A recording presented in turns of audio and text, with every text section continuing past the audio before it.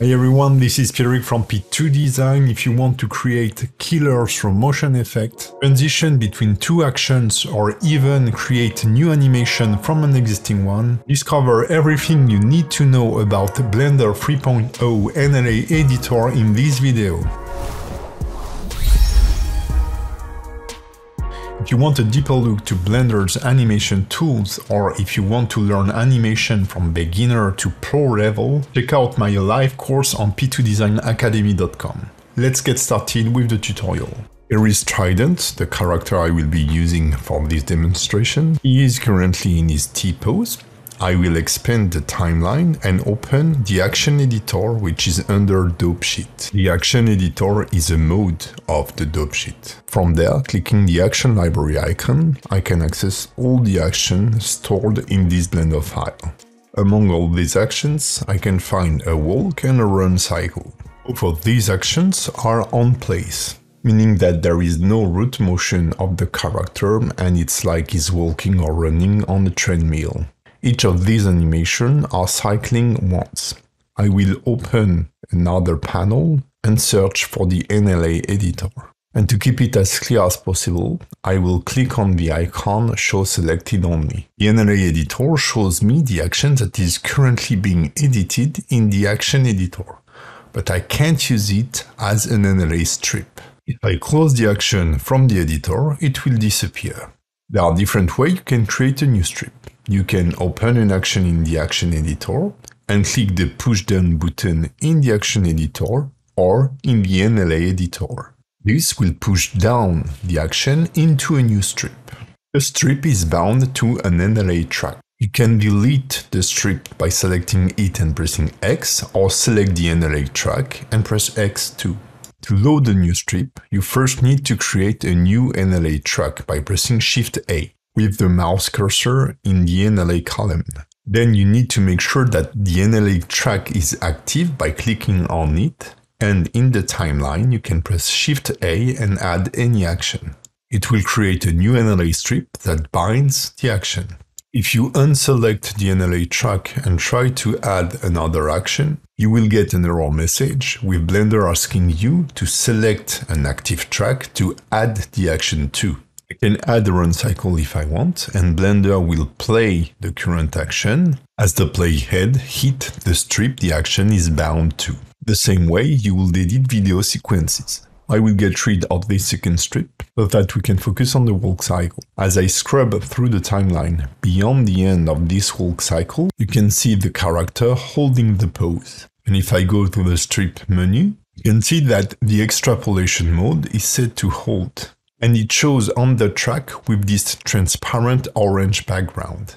Switching to nothing, this background disappear and now my character get back into T-pose as soon as we don't treat the strip anymore. The hold extrapolation mode will either hold the pose to be read or the last pose read. Selecting hold forward will only hold the last pose read. With your strip selected, if you press tab, you can see it get loaded in the action editor. You enter tweak mode. Basically, it allows you to edit the current action.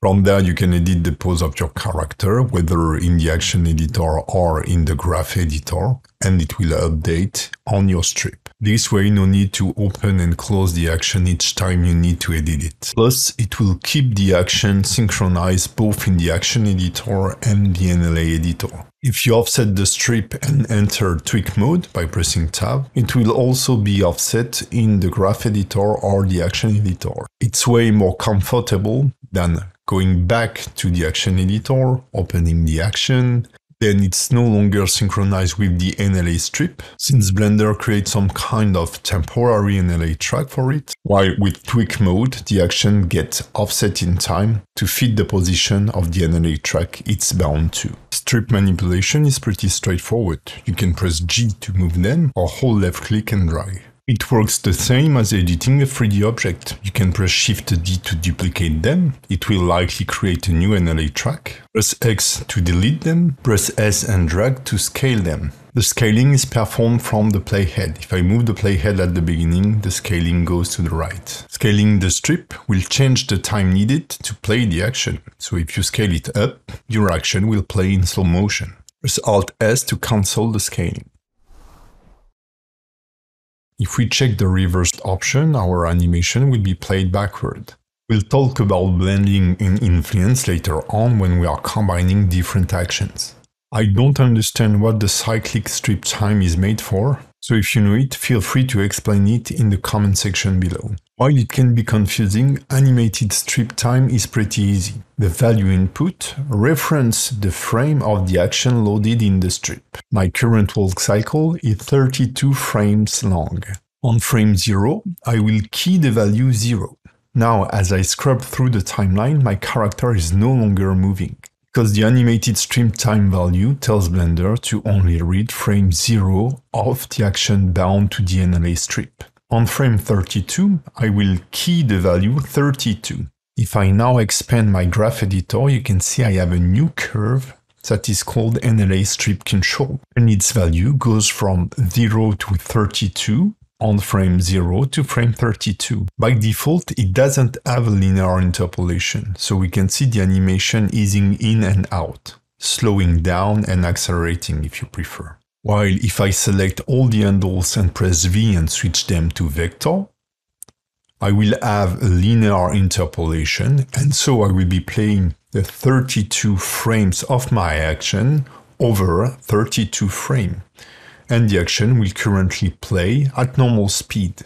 If I want, I can add a new point on the curve pressing I, and as I'm editing the curve, you can see the character moving, and I can create a slow motion in the middle of my animation.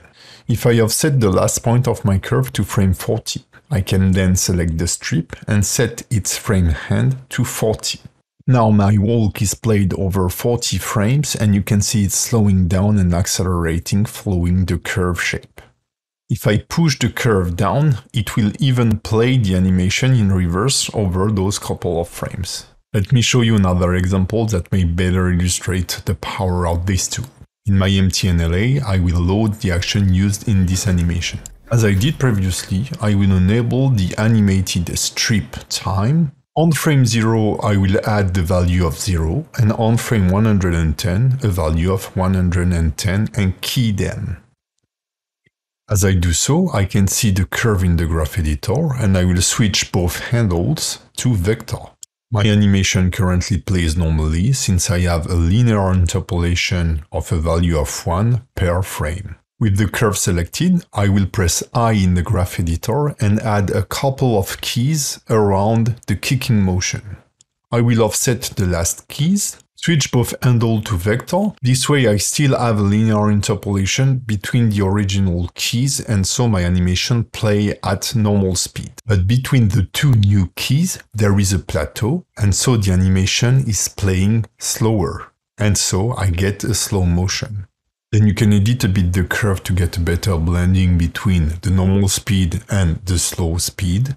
And boom, you have your super slow motion effect in a few seconds. This is a fantastic tool to experiment with your animation and bring even more appeal.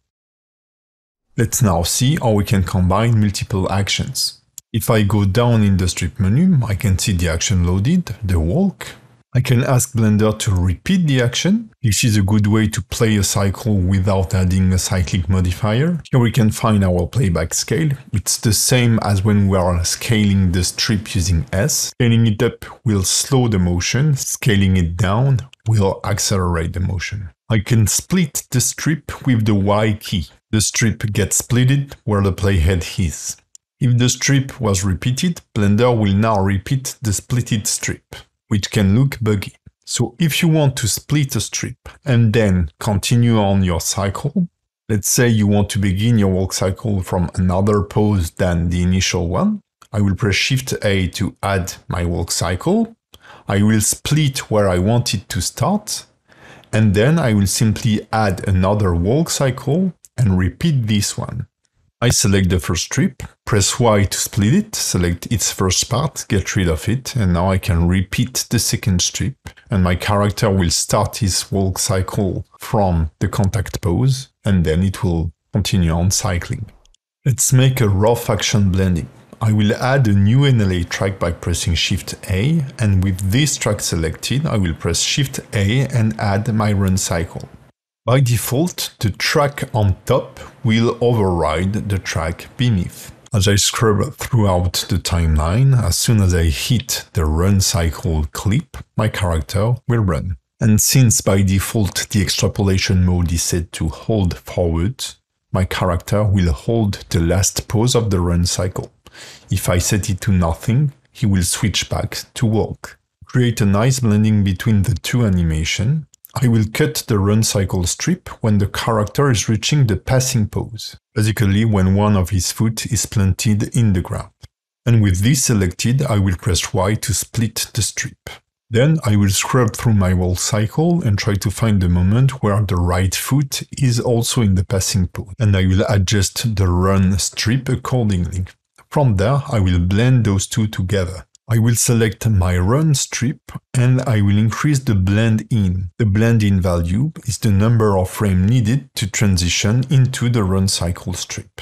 It's represented by a curve on top of the strip. This way you can quickly get a decent transition. Now it's up to you to play with the speed of the walk cycle, the speed of the run cycle, create multiple clips, blend between them to create something more realistic. Note that by default the blending mode is set to replace, so my run action or my run strip replace the walk action. If you want to learn character creation, rigging and animation and take your skill to a professional level, you will find extensive and top-rated Blender courses on p2design.com. Hundreds of professionally edited videos shipped with all the models, rig and Blender files.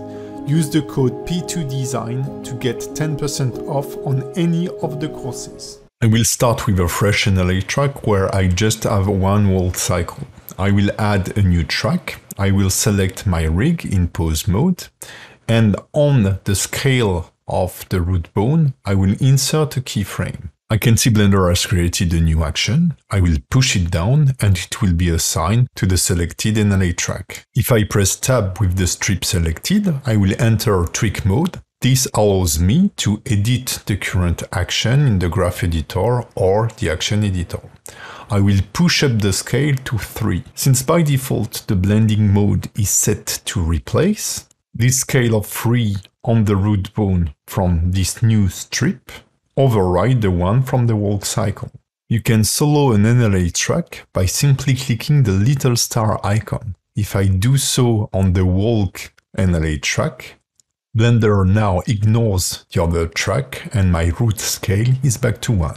If I set the blending mode to add, the current scale of 3 will be added on top of the scaling of 1, and the scale result is 4. If I enter tweak mode by pressing tab and set the new scaling of the root bone to 0.5, since the blending is set to add, now the result of both strip is going to be 1.5. Multiply will output a result of 0.5, 1 multiplied by 0.5, and subtract a result of 0.5, 1 minus 0.5. So it's pretty logical and might be useful for motion design, but for character animation, it's tricky because if you apply the same thing to rotation, location, etc., with all the relationship in your rig, everything is going to be funky. But there is another mode called the combine mode that mixes these different operations and can lead to nice result. Let's see how to use it. With my NLA track cleared, I will add a new empty NLA track on top of my walk cycle, and I will display the double-handed sword of my character. I now play the animation, doesn't look super realistic, as the sword look weightless. I'd like him to put the sword on his shoulder in a relaxed way. Since the hand will be contacting the sword that will be contacting the shoulder, it's easier for me to switch to inverse kinematic. If you want more information on how and when to use inverse and forward kinematics, check out my related video. A new NLA track is selected, I will key the custom property that allows me to switch between FK and IK. The hand of my character is now stuck in the air. I will make sure that the IK controller follows the torso root by enabling and keying the proper custom property. I can now push down the action and see the result as I play the animation. The blending mode is set to replace, so the new value of the custom properties that allow me to switch get replaced by the top strip. If I change the blending to combine, you can see that it doesn't work. The combine option proceed with different type of blending at the same time. And for the custom properties, it's better to use replace. I will call this track IK switch and I will create a new track where I will start animating my character, this time using the combine blending mode. So you may create a dedicated NLA track for your custom properties and then another track for your current animation. With this new track selected, I will key my hand controller. I will also key the shoulder, a bit of the torso root, a bit of the chest, etc. to offset the weight of the character on his right, where the sword is, slightly bend in, basically revise his pose to make it look better. By default, the blending mode is set to replace, so it looks a bit weird, but if I switch to combine, now the new pose I created is combined with my walk cycle. So from there, I can enter tweak mode on my revision track, key the controller I need to get a better result on my animation. You can quickly reposition the fingers, for example, you can reposition the shoulder, reposition the elbow. You can also use space switching if you're not familiar with space switching, check out my introduction to space switching video or check out my animation course Alive where I will show you how to use these techniques step by step. The animation need to be polished, but after a few minutes I get to this result pretty easily and without modifying my initial walk cycle. Now let's say the current action pleased you, you can select all your controllers, go to Pose, Animation, Bake Action. You will enable only selected bones and visual keying. You will set the frame range to your animation loop and click OK. This will bake the current visual action of the different controllers. And now if I push the newly created action in the NLA and solo it, you can see my new walk cycle action called action.003 has been created. This is the end of this video, I hope you have a better insight on the NLA editor and I will see you very very soon.